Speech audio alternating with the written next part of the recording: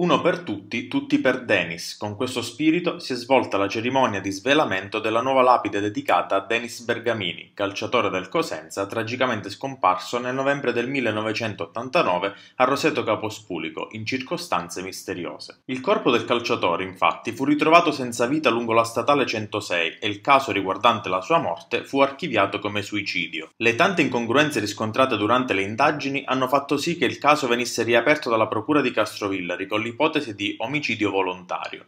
Da anni, ormai, si cerca di far luce su questa vicenda e la ricerca della verità sulla morte di Dennis continua, grazie anche alla forza di volontà della sua famiglia e al sostegno delle migliaia di persone che da Roseto e da tutta la provincia mantengono vivo il ricordo del campione di Cosenza. Domenica 21 settembre, anche in occasione del 52 compleanno di Dennis, a pochi passi dal punto in cui è stato ritrovato il corpo senza vita del calciatore, è avvenuta la cerimonia di rifacimento e ricollocazione della lapide commemorativa, da oggi situata nel Golfo Bella Vista, in corrispondenza della prima area di sosta del tratto ammodernato lungo la SS 106 nel territorio di Roseto. Questo per consentire ai tanti tifosi e amici di poter salutare il campione, porgere un fiore e una preghiera in un luogo più accessibile e sicuro, oltre che consono al ricordo di un uomo che ancora vive nei cuori della gente. Al microfono del nostro Giovanni Pirillo, Donata Bergamini, sorella del calciatore scomparso. Amici di RCS Channel, ci troviamo qui a Rosato Pospulico con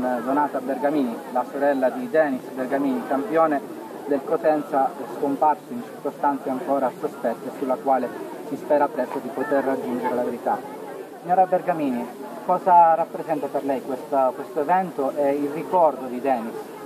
Per quanto mi riguarda, parlo anche per la mia famiglia ovviamente, credo che sia la cosa, più bella che mi potesse aspettare eh, in questo momento, anche perché sinceramente purtroppo abitiamo a mille chilometri di distanza, quindi sapere che eh, la sua lapide era stata un attimino abbandonata perché poi si trovava in un posto molto difficilmente raggiungibile e eh, la preoccupazione delle tantissime visite effettuate dai suoi tifosi, da chiunque percorresse la eh, Ionica 106 per me eh, rappresentava sempre un uh, motivo di ansia per paura succedesse qualcosa.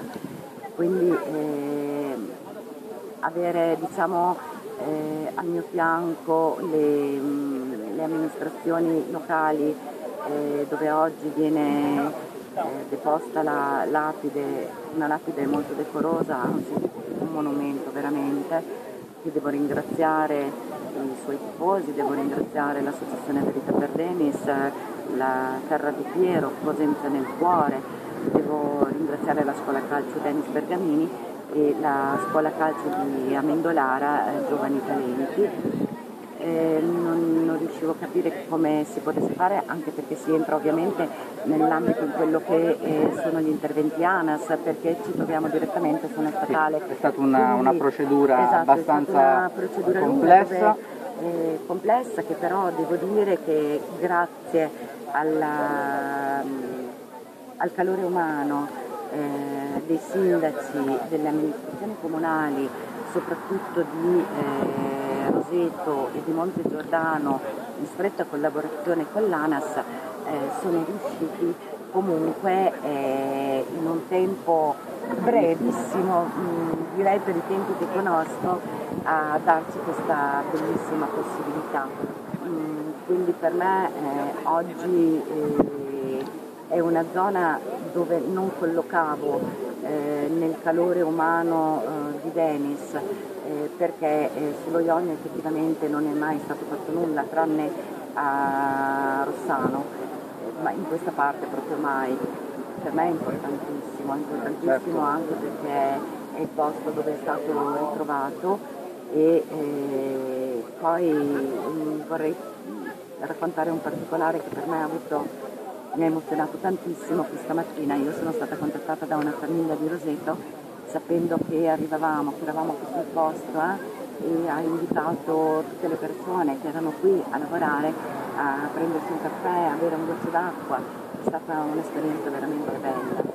Il ricordo di, di Denis è ancora vivo anche qui a Roseto, nella cittadinanza, nei, nelle persone che in quella tragica notte erano qui a Roseto e hanno vissuto in prima persona la, questa tragedia che è indimenticata e indimenticabile. Sì, veramente. Io ho notato nelle persone comunque che hanno collaborato a questo evento questo, questo forte ricordo che hanno ancora dentro. Per me è una soddisfazione grandissima.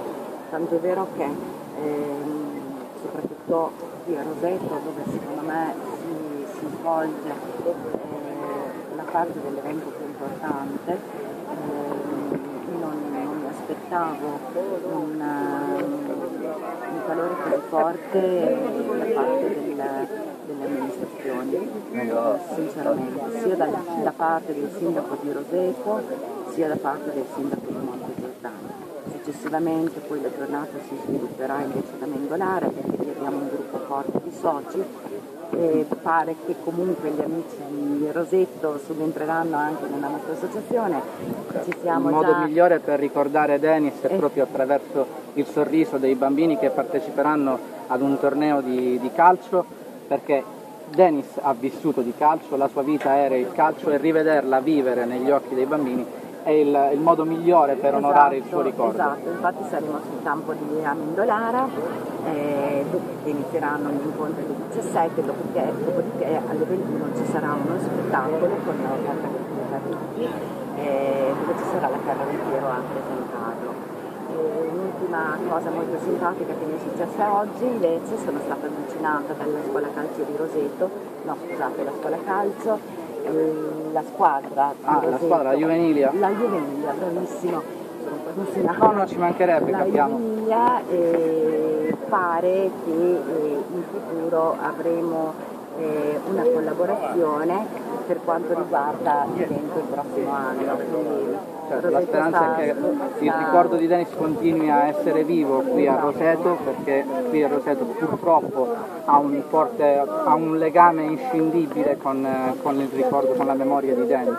Importantissimi invece sono stati anche l'associazione dei carabinieri eh, che ovviamente ci stanno aiutando anche per garantire la sicurezza a tutti e anche la, l'Associazione Carabinieri di Roseto e anche la Misericordia che arriverà con l'ambulanza nel campetto dove ci sono i Roseto. La ringraziamo davvero e ci auguriamo davvero col cuore che si possa raggiungere presto la verità per.